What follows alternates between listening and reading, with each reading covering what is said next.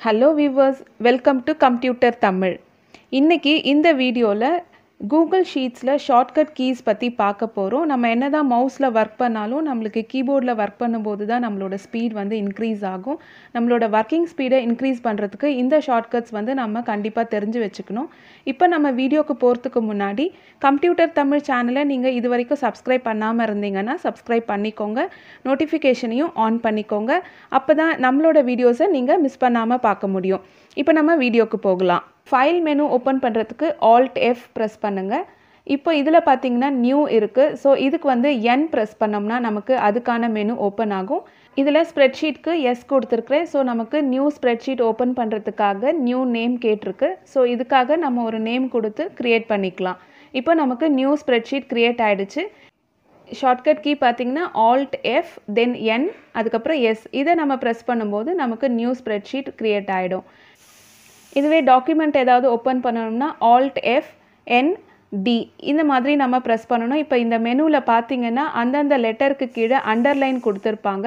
So அதுதான் நம்ம shortcut கீழே அந்த லெட்டரை தான் நம்ம ப்ரெஸ் பண்ணணும். இப்போ டாக்குமெண்ட் ப்ரெசன்டேஷன் ட்ராயிங் இந்த மாதிரி நமக்கு அதில் பார்த்தீங்கன்னா ஒரு ஒரு லெட்டருக்கும் நமக்கு அண்டர்லைன் கொடுத்துருக்குறாங்க.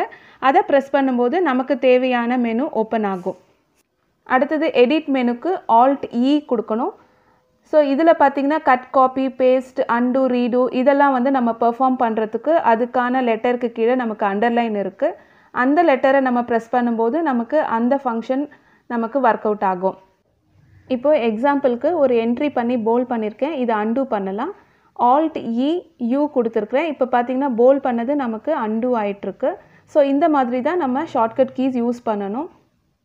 அடுத்தது வியூ மெனு இதில் வந்து நம்ம ஆல்ட் வி ப்ரெஸ் பண்ணணும். இப்போ பார்த்திங்கன்னா இதில் கிரிட் லைன்ஸ்க்கு வந்து நமக்கு ஜியில் அண்டர்லைன் பண்ணியிருக்காங்க ஸோ நான் ஜி ப்ரெஸ் பண்ணுறேன் இப்போ நமக்கு கிரிட் லைன்ஸ் ரிமூவ் ஆகிடுச்சு இதுவே கிரிட் லைன்ஸ் திரும்ப வேணும்னும் போது same Alt V again G press பண்ணும்போது நமக்கு கிரிட் லைன்ஸ் வந்துருச்சு.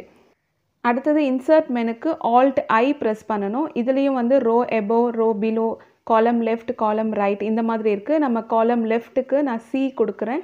இப்போ பார்த்தீங்கன்னா நமக்கு லெஃப்ட் சைடில் காலம் வந்து இன்சர்ட் வந்துடும்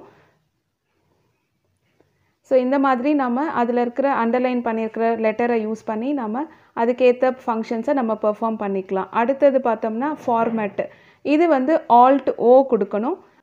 செல் ஃபார்மேட்டிங்க்கு தேவையான ஃபங்க்ஷன்ஸ் எல்லாம் இந்த லிஸ்ட்டில் இருக்குது இதுவும் வந்து நம்ம அண்டர்லைன் பண்ணியிருக்கிற லெட்டர்ஸை யூஸ் பண்ணி நம்ம அந்த ஃபங்க்ஷன்ஸை பெர்ஃபார்ம் பண்ணிக்கலாம்.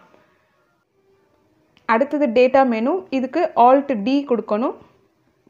ஸோ இதில் இருக்கிறதுக்கு நம்ம பெர்ஃபார்ம் பண்ணுறதுக்கும் இதே மாதிரி தான் நம்ம அதுக்கான லெட்டர்ஸை அடுத்தது ப்ரெஸ் பண்ணி நம்ம அந்த ஃபங்க்ஷன்ஸை பெர்ஃபார்ம் பண்ணிக்கலாம்.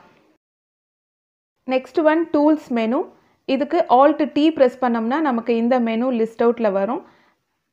தென் ஹெல்ப்புக்கு பார்த்தீங்கன்னா ஆல்ட் ஹெச் ப்ரெஸ் பண்ணணும். ஸோ இந்த மாதிரி ஆல்ட் கீயோட இந்த கரஸ்பாண்டிங் லெட்டர்ஸை ப்ரெஸ் பண்ணும்போது நமக்கு டேரெக்டாக அந்த மெனுக்கு கர்சர் போயிடும். நம்ம கீபோர்ட்லேயே வந்து நம்மளுடைய ஒர்க்கை முடிச்சுக்கலாம். இந்த வீடியோ உங்களுக்கு யூஸ்ஃபுல்லாக இருந்தால் இதுக்கு லைக் பண்ணுங்கள் உங்கள் ஃப்ரெண்ட்ஸுக்கும் ஷேர் பண்ணி விடுங்க. இந்த மாதிரி வேறு ஒரு வீடியோவில் உங்களை மீட் பண்ணுறேன் until it's bye from computer Tamil thanks for வாட்சிங்